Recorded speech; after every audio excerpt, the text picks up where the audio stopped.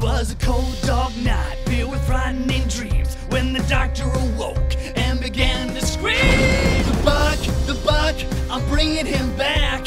Benevolent as ever with a soul so black. If down that hole is where I gotta go, then I'll goddamn do it. He's the host of the show. The Benevolent Buckley Show.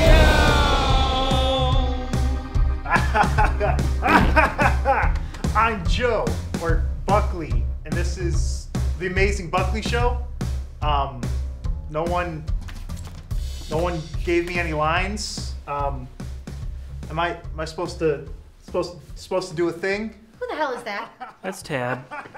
It's Joe's cousin. No one told me Joe's running late. show. My name's Joe. Did I say that already? Oh, he's terrible. It runs in the family. I don't think anyone runs in this family. No, come on, get out of my set. Of my seat. Come on, give me the hood. Hey, hey, Give me the hood. hey, ah, ah. Come on, take off the cloak. Do I have to? Yes. All right, all right, fine. Here, here. Now, we're the dishonor. Do you guys hear me? Come on, I, I can't get it, Joe. Ah. get that off. Come on, you're done. Oh. Come on, you're done. Get off. All right, all right. Still Just go where I can't see you. Am I still getting a ride home? Yes. Come on. You know, I don't have my driver's license yet, Joe. Is this good? Further, further. Well, right here. Okay, right, right here.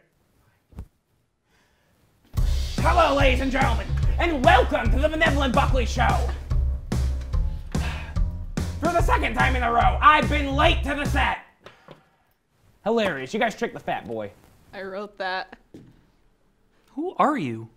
Oh, come on, Joe. We're just giving you a hard time. Why are you late, Joe?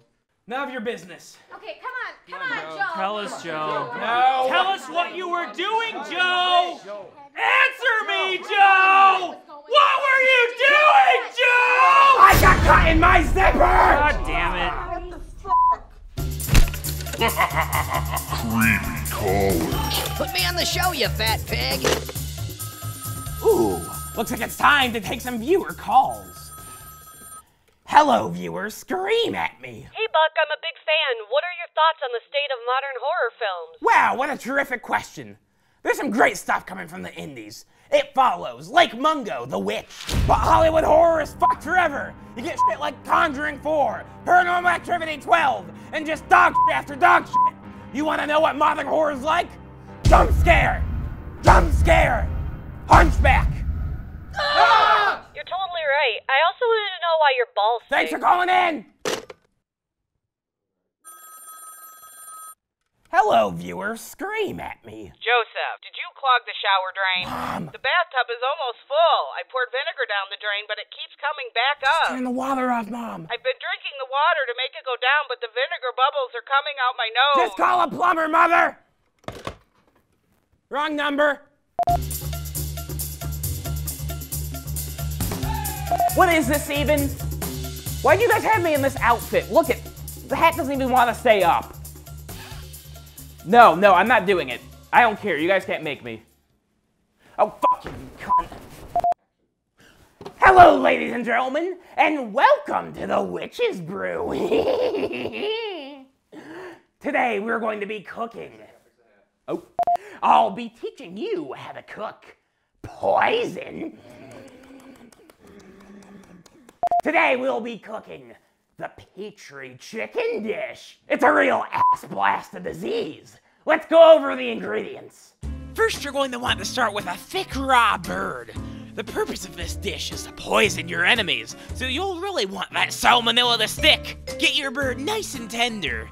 Stretch out those drummies and get it loose enough so that you can jam your whole fist into it several times. Next up are the eggs. You're gonna need at least six to really double down on that salmonella again. Keep them raw and runny. Now cram an egg into that bird, but be careful. Sometimes the egg will pop out. So grab a knife and whack, whack, whack it until the yolk comes running out. Then cram it all in along with some more eggs. After you fill that bird with eggs, just fist it until it oozes out of every hole. Now it's time to bring E. coli to the party with some ground beef. Pack as much beef in there as you can so it'll soak up that egg juice. When you're done, just open those legs and take a look. Give it a little tickle to make sure none of the juice runs out. Crack open an old can of expired beets and take a whiff of that botulism you're about to infuse with your dish. Now let's turn that bird around and open up that front butt nice and wide. Use your knife sharpener to break up the central bone system. That way you can ram those rotten beet discs into the spine.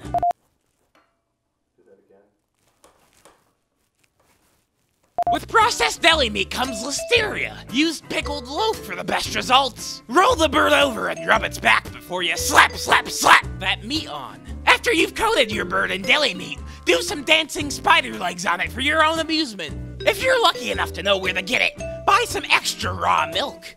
Campylobacter is a good way to get the diarrhea flowing. Let's get that bird upright and pour the raw milk down its open gullet.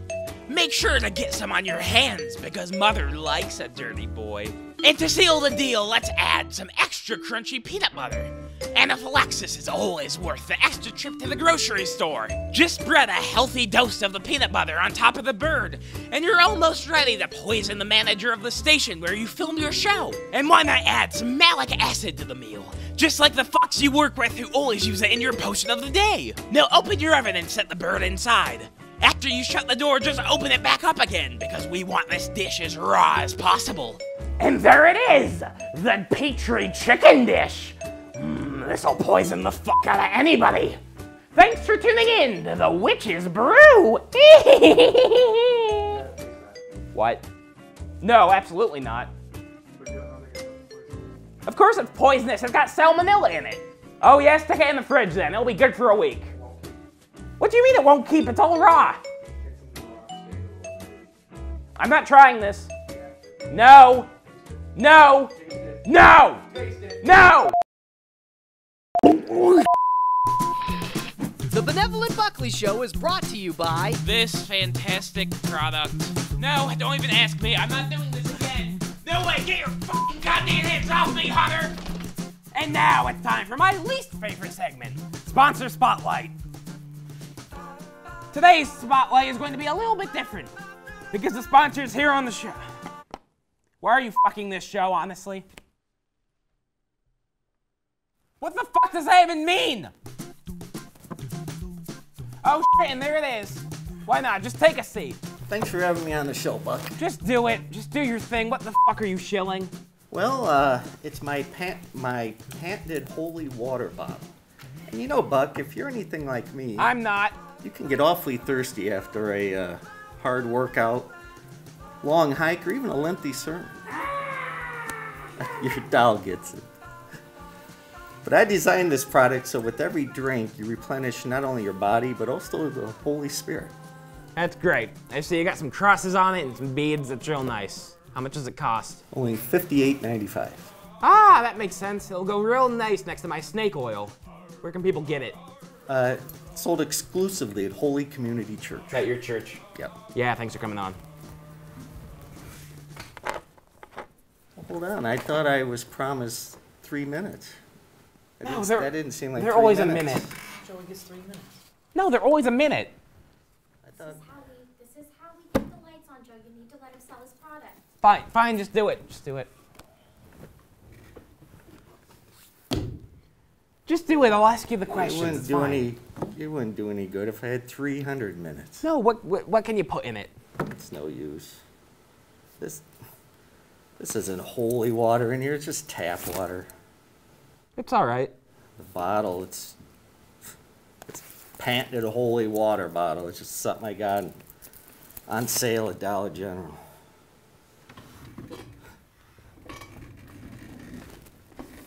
It's gonna be okay. No, no, no. It's all right. It's all right, buddy. Hey, hey, you're gonna get through this. Help me, Buck.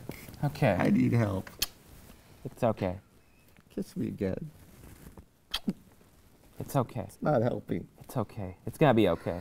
Oh, I hate myself. It's okay. Here, here. I'll buy it off you.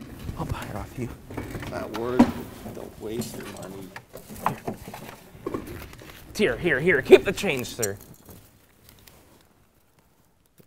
It's okay. Kids' money. It's okay. It's okay. Rosary goes with it. Okay. Joe could buy one. You rich folks out there could. Sure, sure. Only fifty-eight ninety-five. I don't have change. It's okay. Keep the change. I'll be better. I...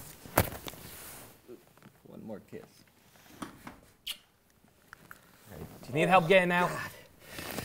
Oh, Joe. It's okay. Another kiss.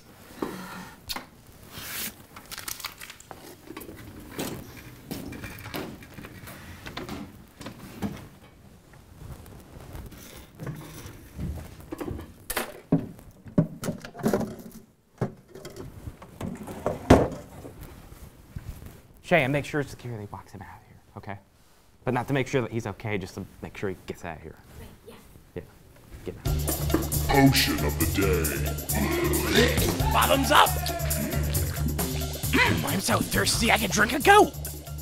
And now it's time for the potion of the day! Today's potion of the day is Warlock's Blood.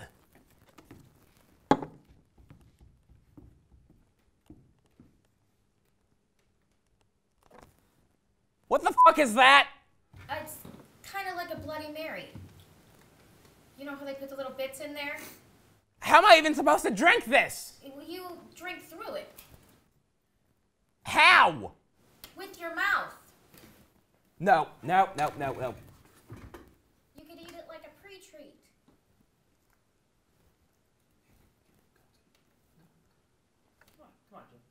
All Bottoms up!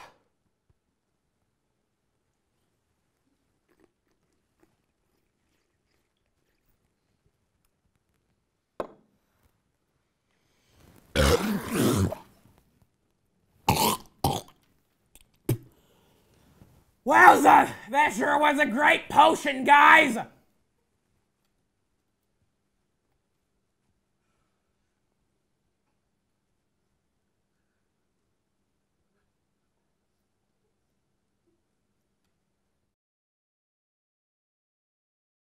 Please call 911. Special guest.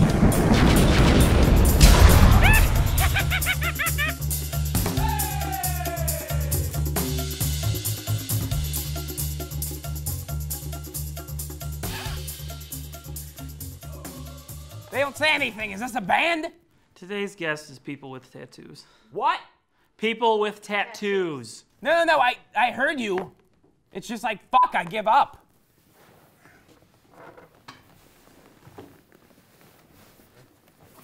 Hi, it's nice for you to be on the show.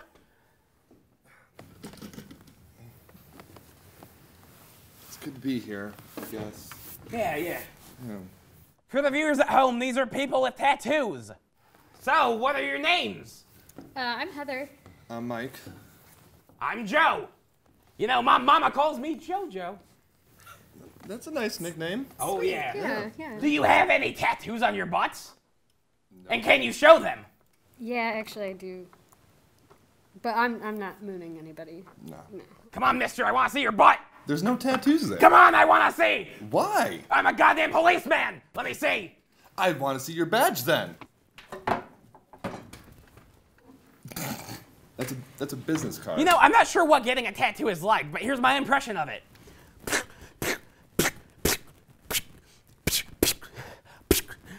Ah! Ah! Ah!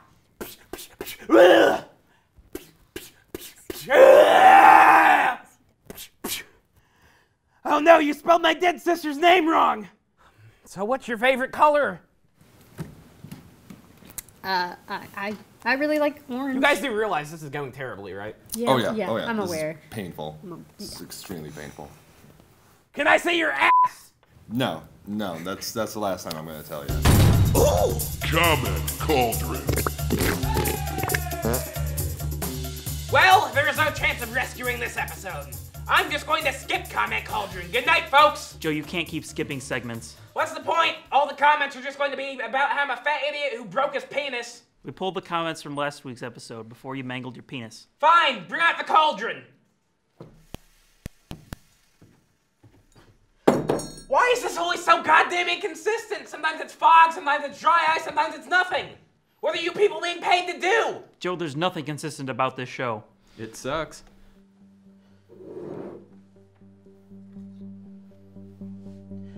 Benevolent Buck, I think your show is getting better with every episode. I'm constantly laughing, and I even find it entertaining when things go wrong. It's my favorite show. So watch when I'm down in the dumps. Don't let the haters get you down. You are my favorite host. Wow, that was really nice. Come on, Joe. Let's do another card. Come on. Come on, Joe. Let's do it. Come on, man. All right, I'll read another one. Your dick's broke.